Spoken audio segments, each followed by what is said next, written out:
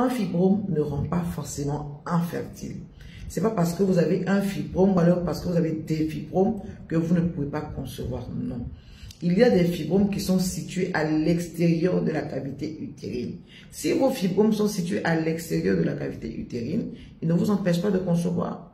C'est lorsque le fibrome est situé à l'intérieur de la, de, la, de la cavité utérine, quand on parle d'un fibrome intracavitaire, un fibrome euh, sous-muqueux par exemple, dans ce cas-là, le fibrome peut vous empêcher de concevoir parce qu'il va empêcher le bébé de s'énider, de venir se déposer dans le dans l'utérus.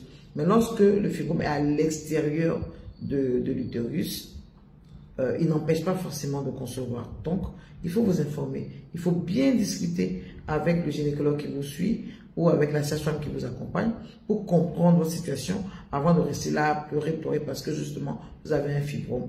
Beaucoup de femmes euh, s'enferment euh, dans cette infertilité-là alors que c'est peut-être c'est peut-être une autre cause qui les empêche de concevoir, mais pas forcément les fibromes.